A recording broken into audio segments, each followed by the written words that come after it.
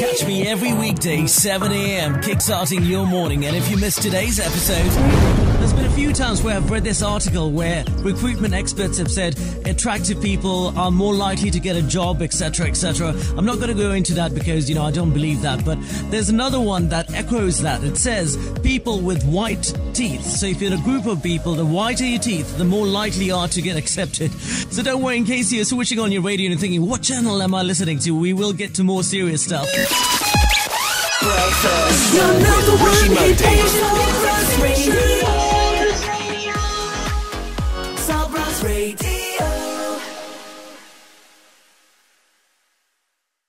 The biggest hits non-stop. with Rishi Modi. This is Sabras.